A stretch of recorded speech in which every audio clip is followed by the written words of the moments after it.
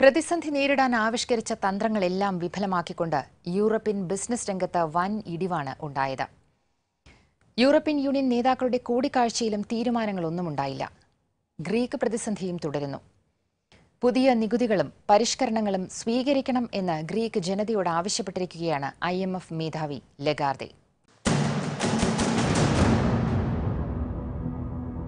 European ബോണ്ടുകൾ release ചെയ്യണമെന്നാണ് French president ഒളോംഗിന്റെ അഭിപ്രായം. അങ്ങനെയെങ്കിൽ പ്രതിസന്ധിയിലായ രാജ്യങ്ങൾക്ക് തൽക്കാലത്തേക്ക് പിടിവള്ളിയാവും. പക്ഷേ രാജ്യങ്ങൾ സാമ്പത്തിക അച്ചടക്കം കൈവരിച്ച ശേഷം മതി അങ്ങനെയൊരു അറ്റ കൈയെന്ന് തറപ്പിച്ചു പറഞ്ഞ ജർമ്മനി അതിന് സമ്മതിച്ചിട്ടില്ല. ആയിരത്തി തൊള്ളായിരത്തി ഇരുപത്തിയൊന്നിലെ വീമർ റിപ്പബ്ലിക് ആയിരുന്ന കാലത്ത് നേരിട്ട പണപ്പെരുപ്പം ഓർമ്മയിൽ നിന്ന് മാഞ്ഞിട്ടില്ലാത്ത ജർമ്മനിക്ക് അങ്ങനെയേ പറയാനാവൂ. ജർമ്മൻ സെൻട്രൽ ബാങ്കിനും യൂറോപ്യൻ സെൻട്രൽ ബാങ്കിനും കൂടുതൽ അധികാരങ്ങൾ നൽകാനുള്ള ശുപാർശയും ജർമ്മനി അംഗീകരിക്കാത്തതിന് ഈ ഓർമ്മകൾ തന്നെയാണ് കാരണം. എന്തായാലും തീരുമാനങ്ങളുടെ കാര്യത്തിൽ ധാരണയിലെത്താതെ ബെൽജിയത്തിൽ സമ്മേളിച്ച നേതാക്കൾ പിരിഞ്ഞു.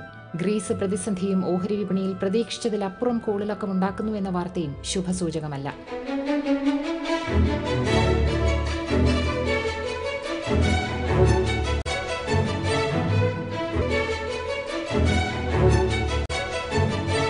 ജർമ്മൻ സമ്പദ്രംഗത്തിലുണ്ടായിരുന്ന വിശ്വാസം നിക്ഷേപകർക്ക് അപകടകരമായ തോതിൽ കുറയുന്നുവെന്നാണ് വാർത്ത. ജർമ്മനിയും ഇത് പ്രതികൂലമായി ബാധിച്ചിരിക്കുകയാണ്. ഗ്രീസ് യൂറോ മേഖലയിൽ തന്നെ തുടരണമെന്നാണ് അഭിപ്രായമെന്ന് ഭൂരിഭാഗം യൂറോപ്യൻ യൂണിയൻ അംഗങ്ങളും കൂടിക്കാഴ്ചയിൽ വ്യക്തമാക്കിയിരുന്നു. പക്ഷേ ഗ്രീസിന് അത്രമേൽ സമ്മർദ്ദങ്ങൾ നേരിടാൻ കഴിയുമോ എന്നതാണ് സംശയം. കഴിഞ്ഞ രണ്ടാഴ്ചക്കിടെ ഗ്രീസിൽ സംഭവിച്ചത് ഗ്രീക്ക് ജനതയെ തന്നെ അമ്പരപ്പിച്ചിരിക്കുകയാണ്.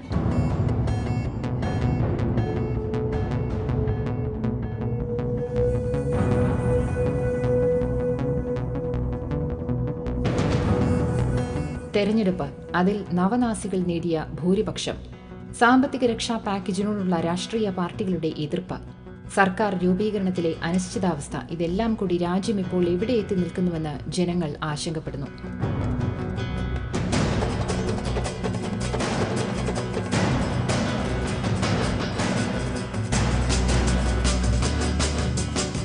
ഇരുപത്തിനാല് മണിക്കൂർ മാത്രം നീണ്ടുനിന്ന പാർലമെന്റ് അംഗത്വം രാജിവെച്ച് മുന്നൂറ് എം പിമാർ പടിയിറങ്ങി. അതിനു പകരം തീർത്തും അസാധാരണമായ ഒരു മന്ത്രിസഭ സത്യപ്രതിജ്ഞ ചെയ്ത് അധികാരമേറ്റു.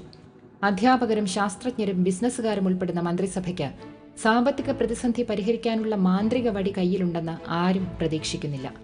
ഇറ്റലിയിൽ പരീക്ഷിച്ച അതേ തന്ത്രം തന്നെയാണ് ഇത്. രണ്ടാം വട്ട തെരഞ്ഞെടുപ്പിൽ പരിഷ്കരണങ്ങളെ എതിർക്കുന്ന സിറിസയ്ക്ക് ഒന്നാം സ്ഥാനം ലഭിച്ചാൽ പിന്നെ ഗ്രീസിന്റെ പോക്ക് എങ്ങോട്ടായിരിക്കുമെന്നോർത്ത് ഉറക്കം നഷ്ടപ്പെടുത്തുകയാണ് നയതന്ത്രജ്ഞർ. യൂറോയിൽ തുടരണമെങ്കിൽ കടുത്ത പരിഷ്കരണങ്ങളല്ലാതെ മാർഗമില്ലെന്ന യൂറോപ്യൻ യൂണിയന്റെ അന്ത്യശാസനം അനുസരിക്കുക. അതല്ലെങ്കിൽ യൂറോ ഉപേക്ഷിച്ച് അനിശ്ചിതത്വത്തിലേക്ക് എടുത്തു ചാടുക ഇങ്ങനെ രണ്ട് മാർഗങ്ങളെ ഗ്രീസിനെ സംബന്ധിച്ച് ശേഷിക്കുന്നുള്ളൂ. യൂറോയിൽ തുടരാനാണ് ഗ്രീക്ക് ജനതയ്ക്കും താൽപര്യം. പക്ഷേ വെട്ടിച്ചുരുക്കലുകൾ വയ്യ.